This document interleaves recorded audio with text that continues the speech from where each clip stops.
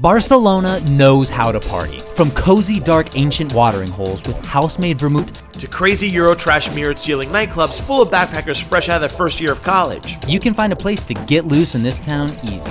Just walking through the streets, you're bound to come across some form of a party where music and booze collide in a beautiful explosion. From elegant palaces where you can lounge in gaudy furniture and classical music, to the zoo that is Club Sauvage that can be heard all the way down Paseo de Born. This town has you covered. That said, nothing will prepare you for Monday nights in Barcelona. Yeah, 4 a.m. in the morning on a Monday. Well, technically it's Tuesday. Right, Tuesday. Anyway, Nasty Mondays is an institution here in Barcelona. A giant all access, all welcome party that is housed in this ancient Apolo nightclub. This celebration of all that is debaucherous is probably the most fun we had anywhere.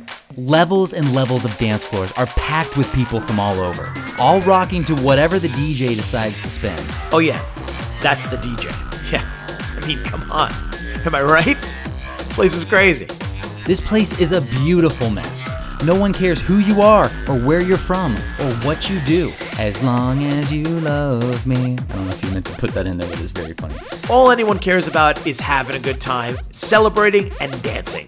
And the club is on board with that. They have a giant stage with a bar on top that, get this, just makes drinks and pours it down everyone's throat that's standing at the front. Yeah, you just stand up there and wait, and you receive your party booze.